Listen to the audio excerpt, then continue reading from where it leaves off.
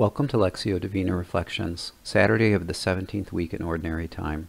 A reading from the Holy Gospel according to Matthew.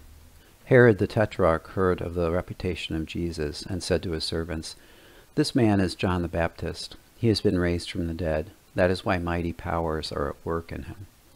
Today's Gospel begins Matthew's 14th chapter, where he describes the puzzlement people felt over witnessing Jesus' miracles.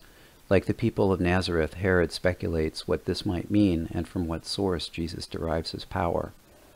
Concluding that Jesus is John the Baptist raised from the dead, he is drawn back to the fear that led him into beheading John to save face in front of his guests at his birthday celebration.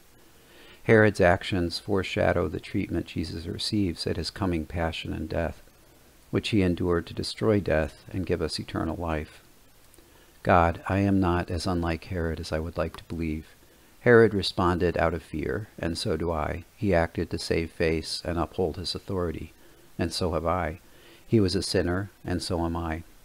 In the last words of today's Gospel, there is comfort knowing that Jesus, your Son, received the abominable news of John's beheading and took it all in. In his passion and death, he took on our sins. By his resurrection, he restored life Lord, help me not be so afraid of what is to come, which often doesn't come to pass.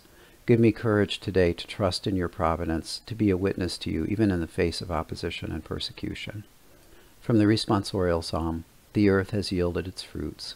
God, our God, has blessed us. May God bless us, and may all the ends of the earth fear him. Lord of heaven and earth, be my strength. Glory be to the Father, and to the Son, and to the Holy Spirit, as it was in the beginning, is now, and ever shall be, world without end. Amen.